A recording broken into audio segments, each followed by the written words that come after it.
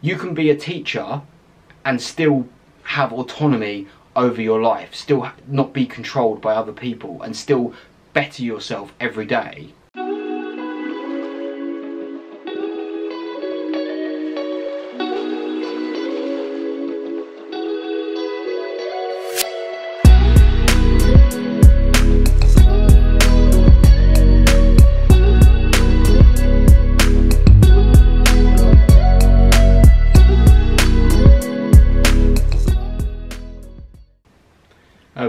How are we? If you're new here, I'm a psychology student trained to be a therapist, so on this channel we talk about positivity, well-being, mindset, mental health and all things like that. So if that sounds of interest, stick around. Excuse the Larry shirt, I didn't get dressed in the dark, we're just having a massive heat wave here in the UK, and frankly I was a few degrees away from doing this video with my kit off, which might attract a new audience, but probably not the audience I want. So if this channel fails, maybe OnlyFans after that.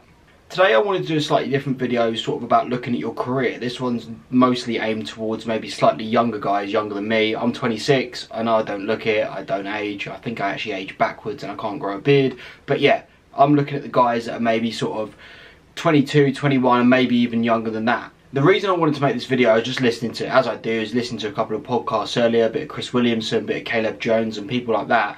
And there's this huge thing at the moment, and it, I don't re really remember where sort of where it started or where it came from. I think it maybe started during the lockdowns, but the last sort of year or two with Tate and people like that, it's really kicked off, and it's this idea of sort of escaping the matrix and being your own boss and everything like that. And I sort of I think it's an important issue, especially for younger men that are maybe starting their careers and don't know where they're going. And I, I wanted to weigh in on the issue with my opinions, basically. Look, in theory, being your own boss, having your own business, earning loads of money, location independence, everything like that, all sounds amazing in theory. And of course it is, like if we could all click our fingers tomorrow and have that, I'm sure most of us would. But the reality is, that's not necessarily how the world works, and that type of lifestyle isn't necessarily right for everyone. And I'm worried that a lot of channels in this community, this sort of self development community and high performance and everything like that, sort of really maybe not necessarily looks down, but maybe doesn't cater to the people who don't want to live that way, who want to live a different type of lifestyle. My personal belief is as long as you do it the right way with the right company and everything like that, I think there's absolutely nothing wrong with saying my life ambition is to get a 40 grand, 50 grand a year job, depending on where you live, can lets me afford having two kids, going on holiday every year, house and a car each. If that's what you want, that for me, that that was my parents. That that's a lot of people that I'm sort of friends with and related to and stuff like that. Uh, my brother's certainly like that. My parents were certainly like that. That was all they ever wanted. Both my parents are teachers, uh, still are. Um, all they've ever wanted was just house, family, couple holidays a year, like not on the poverty line, but not driving Bugattis either. And that's sort of the in between that they found. Like I said, the reason I wanted to make this video is I don't think that message is given to sort of younger men as, as often as it should be. Now, don't me wrong, I'll talk about later the type of sort of normal jobs you want and jobs you don't want and obviously if you are sat in a job that makes you absolutely miserable with no career prospects your boss is horrible you don't like anyone you work with that's a completely different story and we'll talk about that later. That's not what i'm talking about. But what i'm talking about is not not everyone can be millionaires and billionaires with their own companies and driving fancy cars and everything like that. To make the world go round you need normal people. You need teachers nurses doctors bin men, you uh, police officers. Like you need just these normal day-to-day people. Otherwise, society literally falls apart. And I'm worried that a lot of young men maybe watch channels like sort of Chris Williamson and maybe Diary of a CEO and, and, and all those other people and they think there's something wrong with not wanting to do those kind of jobs. I'm in a group chat from um, Jack Hopkins, uh, who's CEO of Testosterone. I'm in his sort of like program group chat kind of thing. And there's lads in there that are sort of 13 14 15 16 talking about how do i start a business? How do i escape the matrix? And as some of the older guys like me and, and some of the other guys sort of sitting there going well buddy like you have no life experience. You're, you're not in a matrix to escape. And we don't say that to discourage them. There's nothing wrong with being ambitious and wanting to start your own business. Obviously that's sort of where i'm at in life.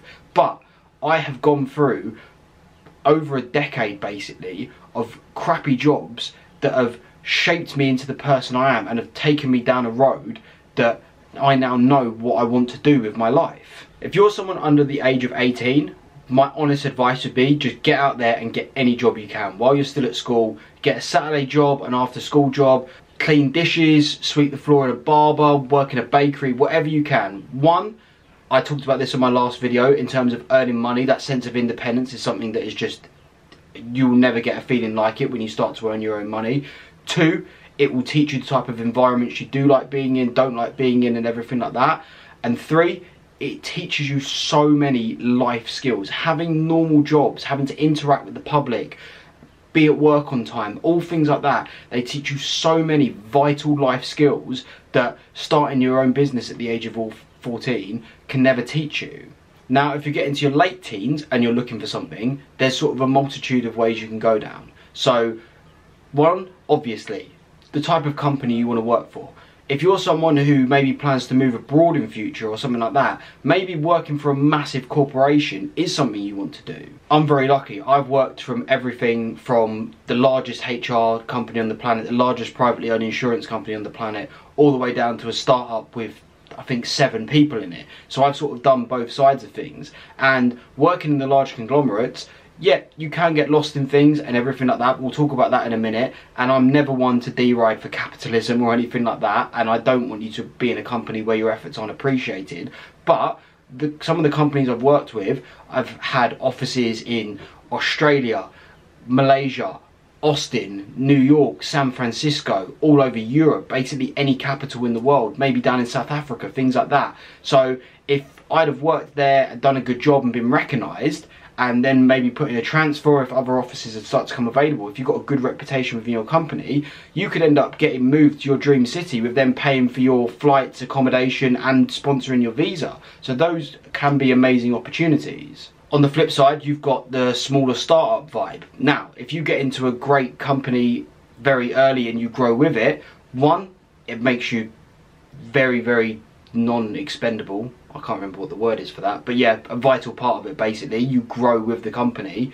Two, that gives you a chance to get equity in the company possibly it teaches you so many lessons about business you're watching the company grow from within and because it's a small company it's often all hands on deck so you're going to get loads of experience sort of throughout different like areas and things like that. You might be HR, finance, whatever, just whatever needs doing. Because it's such a small company, you might just have to try your hand at anything. And three, the startup world is where you are going to meet some of the most interesting people you will ever meet. The, some of the business ideas that come up with, the networking opportunities that come from these things are absolutely incredible.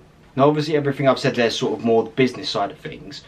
But the main thing that I would say to any of you young men who are going, I, I don't want my own business, I, I don't think the 9 to 5's a prison, but I want to find the right sort of thing salary is obviously important, location, all those important things. But I read an article on this once, and for me personally, it's the truest thing I've ever read. Basically, what makes your career is not often your first job; it's your first boss. I was incredibly lucky that in my first two jobs, I had a boss in each of them who genuinely cared about my personal development. They weren't just numbers people in it for the company. They didn't just treat me like a commodity or treat me like an asset. They didn't just throw me under a bus or anything like that. They genuinely brought me in with the intention to make me grow better in that job, in that role, as a person and as a professional. Again, on the flip side, I've been in jobs where my boss couldn't give a monkey's about me. It, I was just someone there to pick up their stuff or if I had a problem or if I wasn't enjoying it, they made it very clear that they could just replace me. They, they had no interest in how well I get on. So honestly, I could even say a boss you don't look at it as a boss, look at it as a mentor, basically is what you want to do.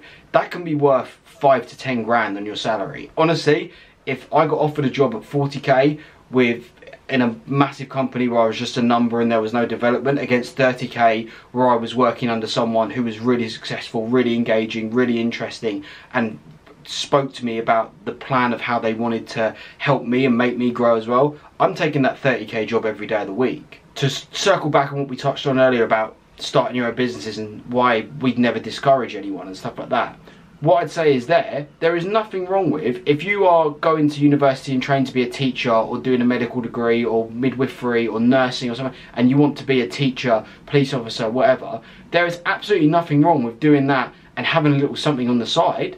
Of course not. It could be anything. You could sell cupcakes on Instagram or something like that. Starting a business, again, will teach you some of the most amazing life lessons you'll ever learn. Me being boring, actually listened to an interview with a, with the police officer in the UK who had the best arrest record or something like that. And he said his advice to anyone in the public sector would be start a business and then go into public sector work or start a business along the side because the lessons he learned doing that taught him how to present himself and act in the other jobs. In terms of a message I'd leave you with, the three things that I will always preach on this channel is independence, autonomy, and self-growth. I don't care what you do, what job you have, who you do it with, anything like that. As long as you are someone who are, is independent and in control of your own life, as well as always trying to grow yourself. Those are the most important things. You can be a teacher and still have autonomy over your life, still not be controlled by other people, and still better yourself every day. You don't need to be a sole enterprise and business owner to do those things.